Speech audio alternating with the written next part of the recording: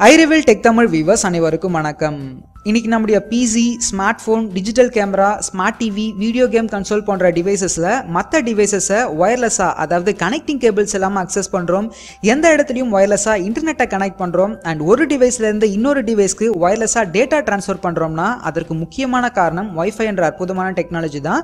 துவக்கத்தில் பார்த்தீங்கன்னா ethernet cables அதாவது ஒரு நெட்வொர்க் டிவைஸ்லேருந்து இன்னொரு நெட்வொர்க் டிவைஸ்க்கு கனெக்ட் பண்ணுற கேபிள்ஸ்க்கான ஒரு ரீப்ளேஸ்மெண்ட்டாக தான் ஒய்ஃபை இன்ட்ரடியூஸ் ஆச்சு. பட் இன்றைக்கி இதை ஒரு ஹோம் நெட்வொர்க்காக யூஸ் பண்ணிட்டு இருக்கோம். பிஸ்னஸ்க்கு ஒரு லோக்கல் ஏரியா நெட்வொர்க்காக யூஸ் ஆகுது.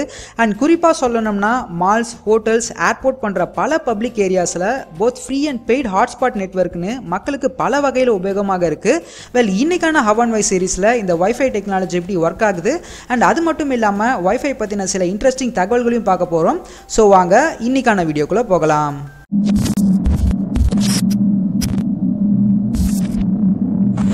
வயர்லெஸ் ஃபிடிலிட்டி ஸோ இதுதான் வைஃபையோட முழு விரிவாக்கம். பட் வைஃபைன்னு இன்னைக்கு வர நம்ம டினோட் பண்ணுற இந்த பெயர் ஜஸ்ட் இதற்கு கொடுக்கப்பட்ட ஒரு மார்க்கெட்டிங் நேம் தான். ஸோ இதனுடைய ஒரிஜினல் டெக்னிக்கல் டேர்ம் பார்த்தீங்கன்னா I triple E eight nought two point eleven சொல்லுவாங்க. வெல் இந்த I triple E eight nought two point eleven networking standard பார்த்தீங்கன்னா ஃப்ரெக்வன்சி ரேஞ்சுக்கு ஏற்ற போல் மாறுபடும். So eight nought two point eleven ஏவோட ஃப்ரெக்வன்சி லெவல் பார்த்தீங்கன்னா ஃபைவ் ஜே ஹர்ட்ஸ் அண்ட் இதில் மேக்ஸிமமாக fifty four Mbps per second ஸ்பீடில் டேட்டாஸ் டிரான்ஸ்மிட் ஆகும். அடுத்ததாக eight nought two point eleven B இதனுடைய frequency level two point four G hertz and data transmit speed பார்த்தீங்கன்னா eleven MBBS per செகண்டில் இருக்கும். மூன்றாவது eight nought two point eleven G இதனுடைய frequency level two point four G hertz and data transmit speed பார்த்தீங்கன்னா fifty four MBBS per செகண்டில் இருக்கும். அடுத்ததா eight nought two point eleven N இதனுடைய frequency level five G hertz and இது மேக்ஸிமமாக one forty Mbps per செகண்டில் டேட்டாஸை transmit பண்ணும். இதில் மோஸ்ட் அட்வான்ஸ் ஸ்டாண்டர்ட்னா அது eight nought two point eleven AC இதனுடைய frequency level both two point four G hertz and five G hertz ரெண்டுத்துலையுமே இருக்கும். அண்ட் இது பர் செகண்டுக்கு ஒன் பாயிண்ட் த்ரீ ஜிபிபிஎஸ் ஸ்பீடில் டேட்டாஸை டிரான்ஸ்மிட் பண்ணும்.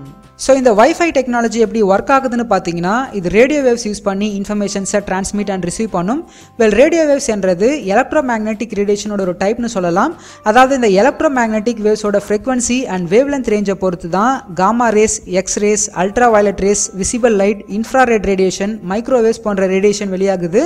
ஸோ இதில் ஒரு ரேடியேஷன் தான் radio waves well FM AM radio mobile phone walkie talkie போன்ற டிவைசஸ்லையும் இந்த ரேடியோ வேவ்ஸ் யூஸ் ஆகுது. பட் வைஃபைல யூஸ் ஆகிற ரேடியோ வேவ்ஸ்க்கும் மற்ற டிவைசஸில் யூஸ் ஆகிற ரேடியோ வேவ்ஸ்க்கும் உள்ள டிஃப்ரென்ஸ் என்னன்னா வைஃபைல யூஸ் ஆகிற ரேடியோ வேவ்ஸோட ஃப்ரெக்வன்சி ரேஞ்ச் பற்றி கொஞ்சம் நேரத்துக்கு முன்னாடி தான் I triple E eight nought two point eleven ஸ்டாண்டர்ட்கான சார்ட்டில் பார்த்தோம். அதாவது radio வேவ்ஸோட frequency two point four G ஹார்ட்ஸ்லேருந்து five G hertz வரை இருக்கும். ஸோ இதே ஃப்ரெக்வன்சி ரேஞ்ச் தான் நம்ம யூஸ் பண்ணுற மைக்ரோவேவ் அவன்லையும் யூஸ் ஆகுது. But FM AM radio mobile phone பண்ணுற மற்ற டிவைசஸில் kilo hertz and mega hertz ரேஞ்சில் தான் ஃப்ரெக்வன்சிஸ் ரிசீவ் ஆகும்.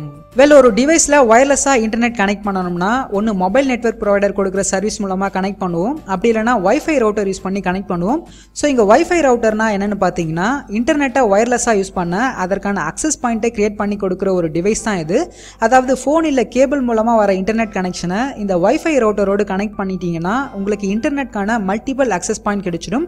ஸோ இதன் மூலமாக உங்களுடைய லேப்டாப் ஸ்மார்ட் ஃபோன் டேப்லெட்னு மல்டிபிள் டிவைசஸில் இன்டர்நெட்டை ஒயர்லெஸ்ஸாக யூஸ் பண்ணிக்கலாம்.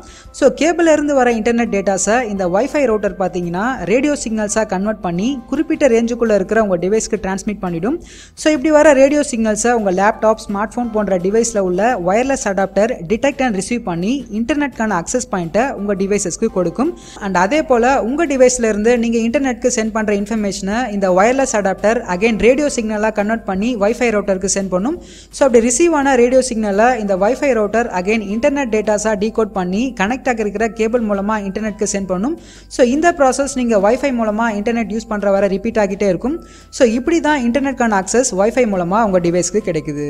ஸோ ஒய்ஃபை பற்றின இந்த தகவல் உங்களுக்கு பயனுள்ளதாக இருந்தால் வீடியோக்கு ஒரு லைக் பண்ணுங்கள் கமெண்ட் பண்ணுங்கள் ஷேர் பண்ணுங்கள் அண்ட் மறக்காமல் நம்முடைய சேனலுக்கும் சப்ஸ்கிரைப் பண்ணிவிடுங்க நான் உங்களை அடுத்த டெக் வீடியோவில் சந்திக்கிற வரை உங்களிடமிருந்து விடைபெறுகிறேன். நன்றி.